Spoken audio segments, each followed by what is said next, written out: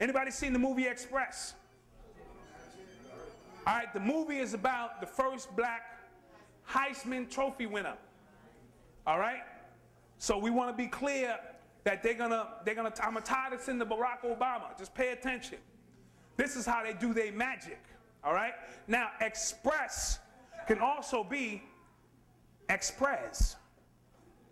Express, express. Same thing, all depending on how you break the word up and how you understand how they use words.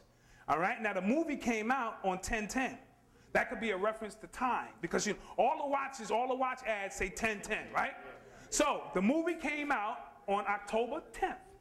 So that was giving me a clue that this was a reference to some form of time. All right, so I went from Express to Express, and the Express I'm talking about is right there JFK. Now, he won the Heisman Trophy the same year JFK was elected. All right, this kid, uh, Ernie Davis, the Ernie Davis story. We're going to tie this into Barack Obama because they've been calling Barack Obama, you know, JFK, talking about he tapping into his energy and things of the Messiah and things of that nature. So let's look at a few things because somebody sent me something interesting. It said, here's some more interesting facts. Notice that when the show, they show Ernie Davis trailer, the movie, they make a point to show Elmira across his chest. Well, I thought that that would look, I would look up Elmira and see how it fit into this. Notice that one of the central uh, uh, points in Elmira is the following paragraph barracks, number three. So if you look at Elmira on the commercial for the Express, it says barracks, which could be Barack. All right? Also, the year uh, 1864 and 1865 is the so called year of the Emancipation Proclamation. Remember, Barack Obama decided to make his announcement in Springfield, Illinois, home of Abraham Lincoln, who is responsible for the Emancipation Proclamation. All right, then it goes in to say, uh, let me get down here. Let me just get to the next piece. I want to show you something real interesting. All right, the Negro vote counts. That's what it also says on the movie trailer. Negro vote count. Are they talking about now or are they talking about then?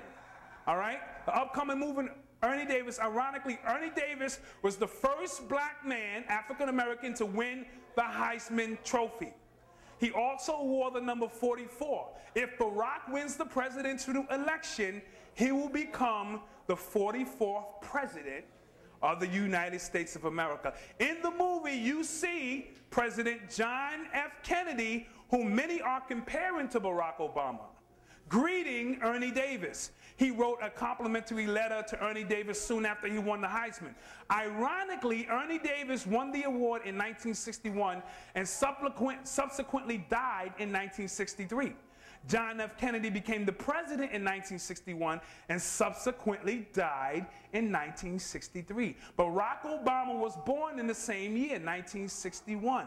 Barack Obama assumed office as a U.S. Senator in 2005, exactly 44 years after President Kennedy assumed the presidency of the United States. Barack Obama announced his candidacy for presidency exactly 44 years after John F. Kennedy was assassinated. Could be a coincidence, maybe not. All right, so understand how that ties in. The first black to win the Heisman Trophy, wearing the number 44. Barack Obama could be the first president. He would be the 44th president. So the numbers line up. All right? This is how they work their magic. First black man to do this, first black man. But also remember, it was another link between Lincoln and John F., which was kind of weird. Abraham Lincoln was elected to Congress in 1946, uh, 1846. John F. Kennedy was elected to Congress in 1946. Abraham Lincoln uh, was elected to the president in 19, 1860. John F. Kennedy was elected in 1960. The name Lincoln and Kennedy each contained seven letters. Both were particularly concerned with civil rights. Both wives lost their children while living in the White House. Both presidents were shot on a Friday. Both presidents were shot in the head. Lincoln's secretary was named Kennedy. Kennedy's secretary was named Lincoln. Both were assassinated by Southerners. Both were succeeded by Southerners named Johnson. Andrew Johnson, who succeeded Lincoln, was born in 1908, 1808. Lyndon Johnson, who succeeded Kennedy, was born in 1908. John Wilkes Booth, who assassinated Lincoln, was born in 1839. Lee Harvey Oswald, who assassinated Kennedy, was born in 1939. Both assassinations were known, assassins were known by three names.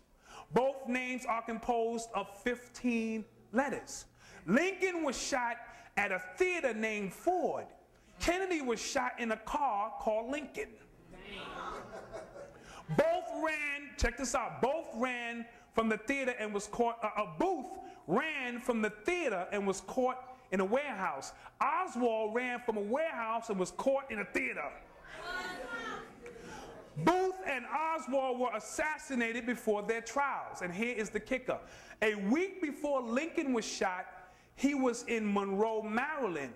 A week before Kennedy was shot, he was basically in Marilyn Monroe.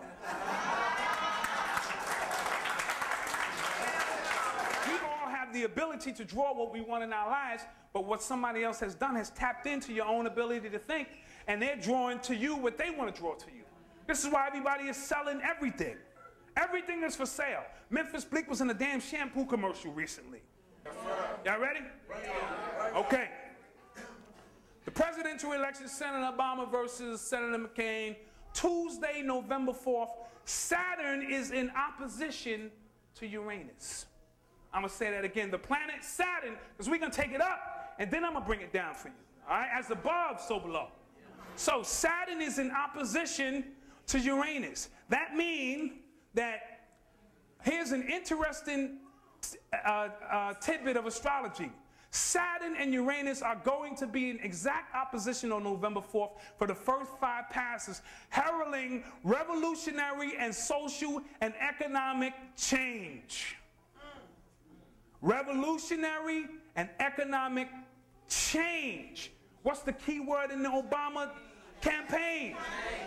Change. They keep pushing change. Change. See, these, these are trigger words. They knew that this was going to line up on November 4th before it even happened.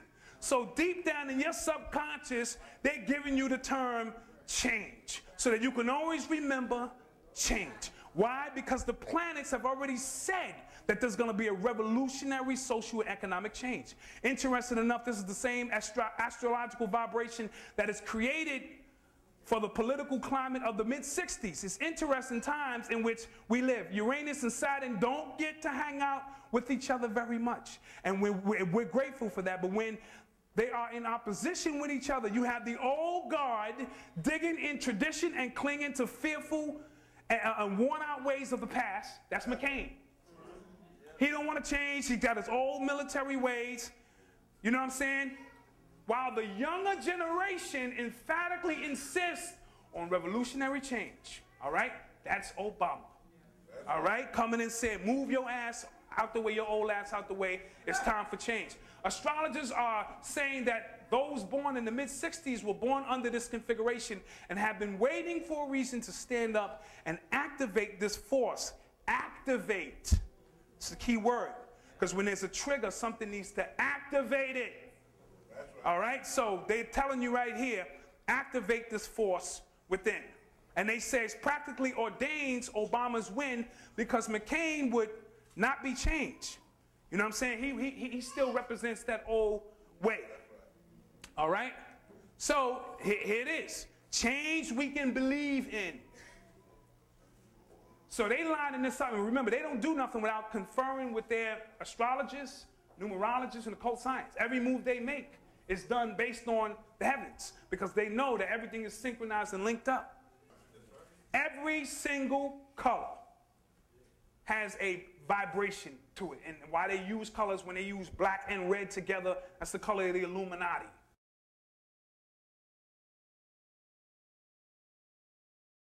So whenever you see black, anybody see the movie uh, V for Vendetta? That's why when you saw him in the background, he had the black and the red cross and the double cross and all that there. They, they use these colors purposely.